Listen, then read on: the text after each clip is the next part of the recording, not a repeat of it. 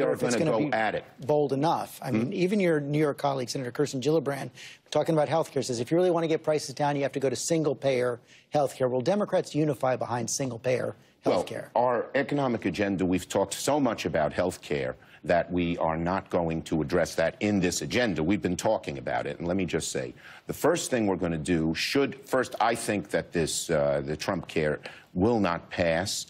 It just is You think it's rotten. dead? I think it's very unlikely to pass because it's rotten to the core.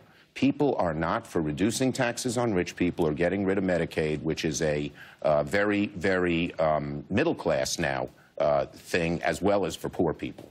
So the first things we're going to propose, if the Repub- and the Republicans hopefully will join us once they abandon this rotten bill, is some cost sharing, which the insurance companies say will help bring down premiums and stabilize the market. Something else that Republicans have often supported, uh, which is reinsurance, proposed by Tom Carper and Tim Kaine.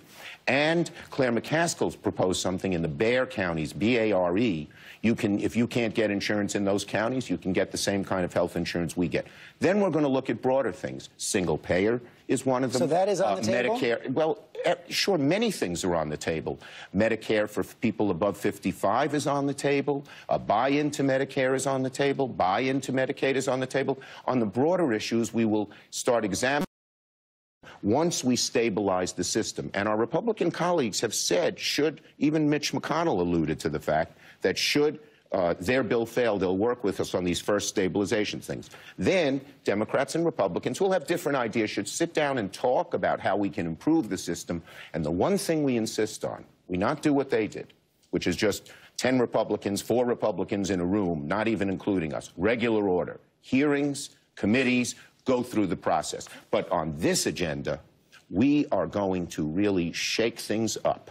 And we're going to fill the vacuum that Donald Trump left when he campaigned on some of the things like this and then abandoned them for the hard right Final- Koch brothers. Final question. You heard Mr. Sekulow on this issue of whether the president